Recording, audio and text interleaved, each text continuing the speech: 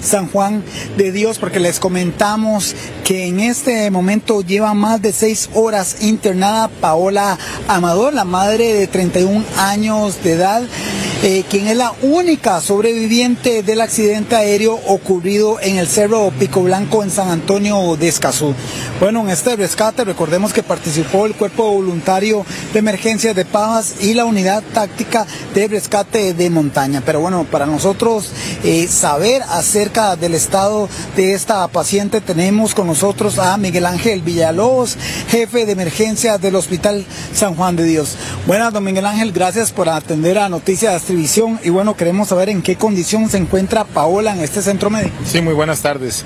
Este, Paola sigue en una condición bastante estable, gracias a Dios. Eh, ella llegó en una condición estable, se le descartaron eh, lesiones que requirieran una intervención inmediata quirúrgica porque comprometieran su vida. Se le han hecho diferentes estudios y pues estamos a la espera de completarlos para poder definir tratamientos específicos, pero la condición de ella continúa estable. Sí, eh, ¿cuántos, este, más bien eh, lo que usted estaba comentando, cuántos estudios son y cuántos llevan? Bueno, ya se le ha hecho realmente una gran cantidad. ¿Cuántos requiere? Pues ahí vamos viendo con respecto a los hallazgos que vayan surgiendo los que se le han realizado. Este, una cantidad exacta no tendría cómo decírsela, pero sí se le han hecho radiografías convencionales, se le han hecho ultrasonidos, se le ha hecho tomografía y estudios de laboratorio, gabinete análisis químicos de sangre. ¿Cómo llegó Paola al centro médico? Ella llegó en una condición bastante estable, lo que cual es sorprendente para nosotros debido a la, al aparatoso del accidente, ¿verdad? Y el tiempo que estuvo expuesta a la naturaleza de la intemperie sin atención médica. Pero después de recibirla en sala de shock y valorarla inicialmente, el, valorar los signos clínicos, estado de conciencia y demás, pues determinamos que ella venía en una condición bastante estable.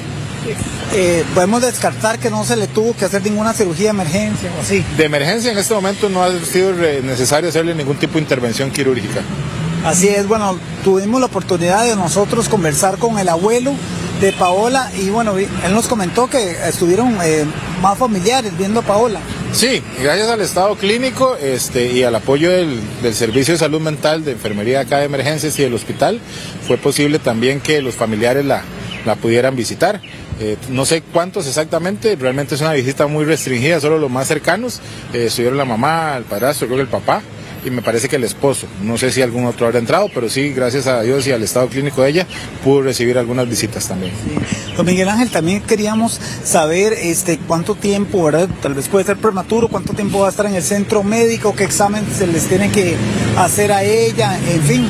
Ok, bueno, ahorita el tiempo de estancia es un poco aventurado decir cuánto es. Al menos yo considero 24 48 horas, sin saber con certeza cuáles eh, hallazgos se han encontrado en, el, en los estudios que se le han realizado. Aparte de eso, está siendo valorada por las diferentes especialidades que se requieran. Dentro de ellas está ortopedia, medicina de emergencias, cirugía general, cirugía de tórax, cirugía reconstructiva, ortopedia otra vez, eh, neurocirugía. Todos ellos estamos pidiéndoles valoración según los hallazgos que se van documentando en los estudios realizados. ¿Puede hablar normalmente? ¿Puede moverse normalmente? Sí, ella podía responder preguntas sencillas de cosas muy, muy específicas y de, pues, según entienden los familiares, pues también estuvo conversando con ellos.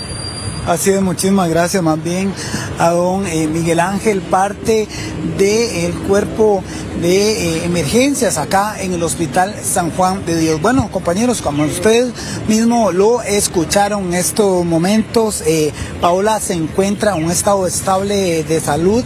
Vamos a estar atentos a cualquier eventualidad. Sí es importante también indicarles que ella ya recibió familiares y puede conversar de forma eh, normal, no tiene ningún dolor. Todavía se le estaban haciendo eh, exámenes médicos para saber realmente si ella ya puede o no abandonar este centro médico. Vamos a estar al tanto de cualquier eventualidad. Esto fue un reporte de Julio Andrés Arrieta, un trabajo en cámara de Kevin Ramírez para Noticias Televisión.